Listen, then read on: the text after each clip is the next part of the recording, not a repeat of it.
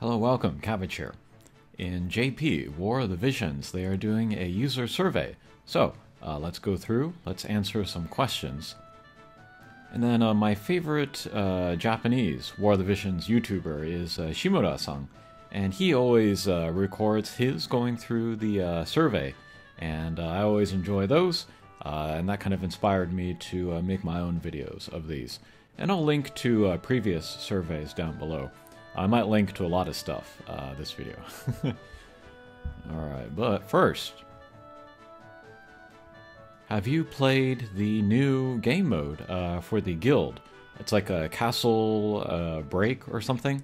And then uh, what did you think of it? And I put, it's not interesting. And I think pretty much everybody's going to put it's not interesting. I saw polls on uh, Twitter as well. It was like over 70% uh, were not enjoying it. And then at the bottom it asks, uh, how can we improve it? And then I'm not going to say, you know, all the stuff that everybody else is saying, because uh, that's going to be covered, I'm sure. But I said I was looking forward to uh, content that uses the map. Uh, but although this mode shows like a battlefield, uh, it's not really a map at all. It's just pretty meaningless. Uh, all of the different castles and like their position and stuff. And then uh, somebody commented on one of my videos, and they had the nerve to suggest to me that uh, War of the Visions should include maps. It's like they know nothing about my channel. uh, but I'll also link down below uh, to other videos where I've talked about um, how I would like more maps in the game, uh, what they mean to me, and then other game modes and whatever that could maybe use those. But I'll talk about all of this more later in this video. I'm just kidding, by the way, about uh, being annoyed by this person. These are videos that I made some time ago. Okay, anyway. Uh, next question. About the Dream upgrade, how can we improve that? Um, I said, if they are going to release characters at the uh, pace that they are, I want them to give out more antlers. And then the uh, Dream upgrade is not going to uh, motivate me to uh, spend in the game. So I don't care about scrolls, and even if I have them, I will not use them. And um, actually, the only time I have used these scrolls is when I made that video demonstrating how it works, but yeah, I'm not going to touch that. And then I say, I wonder what is the point of the Dream upgrade other than uh, PvP? Besides just trying to get more money out of us.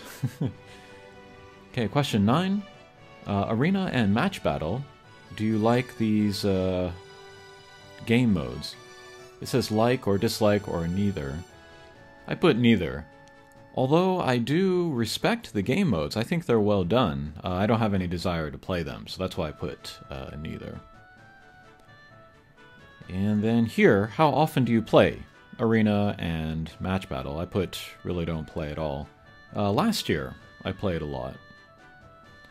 And then Arena and Match Battle, how can we improve them? And I said, yeah, they're good modes. I don't think they actually need any improvement but I just enjoy the uh, solo contents more. And then the uh, limited time guild battles, how can we improve those? Uh, same thing here. It's a good mode, but I would rather play solo content.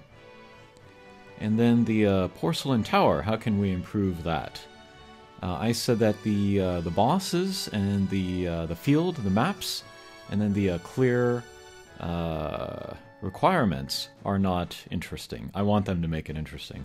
And I recently made a video about uh, PvE that I want to see. I talk about all of that in more detail, but uh, I want bosses to more like feel like bosses, and then I want the uh, the maps to be more interesting, and then I want uh, different uh, clear parameters. here, the Trials of Reckoning, how can we improve that? Uh, I say I just don't like this mode, so I don't really play it. And then here, uh, user interface, how can we improve that? I don't really have any problems with that, so I just left it blank, basically. And then the, um, the job-based buffed vision cards, how can we improve that? Um, I said I would just like an easier way to see uh, which characters get the, um, the buffs from it. And then, uh, what kind of content would you like to see? New game modes in the future. in parentheses solo, guild, uh, guild versus guild, or guild versus uh, computer, I guess. And then I said, this is actually not in relation to like how many players or whatever, but I want content that uses maps. and I've said this uh, from pretty much close to the uh, release of the game.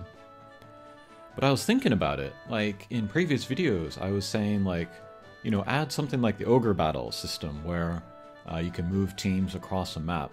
But I thought about it, that might be too uh, intensive, especially if it were a PvP. It would be a too server intensive.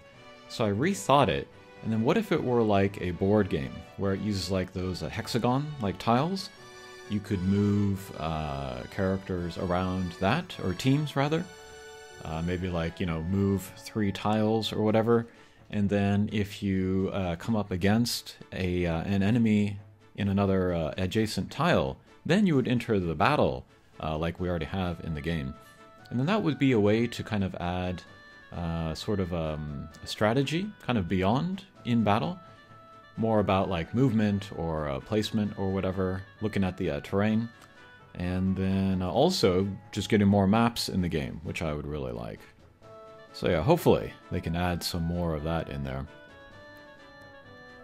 And here, let's see, asking about this story.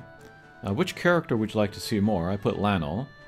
And then which character do you not like? I put none. There's no characters I really dislike. I wonder if they'll take like the character that is the least popular and like kill it off in the story or something. okay, and then here, in the story of War of the Visions, what kind of stuff would you like to see?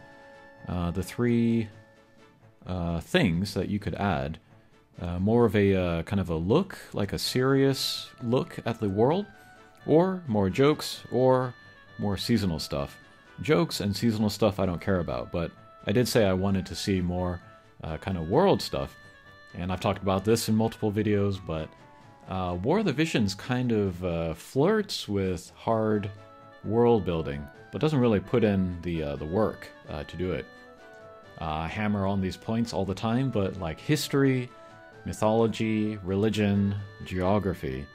Uh, War of the Visions is like missing all of that, so it kind of has like a very uh, superficial sort of world building, but it doesn't do anything really uh, concrete, and it just focuses on uh, characters way too much, I think. And then here, for the fourth year of War of the Visions, what would you like to see?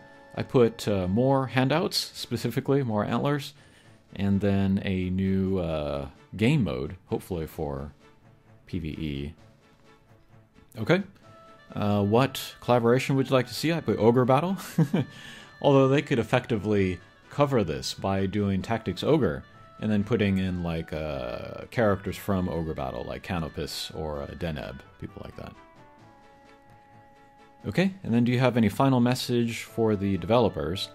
I said that I am looking forward to the uh, Chamber of Arms type content and then I bring up uh, the boss battles in Final Fantasy Brave Exvius and how fun those were.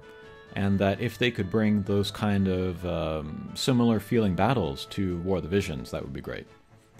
And then I recently did a community post where I showed off a new playlist that I made for my old videos, uh, going through the Chamber of Arms and then collecting all of those videos of those clears.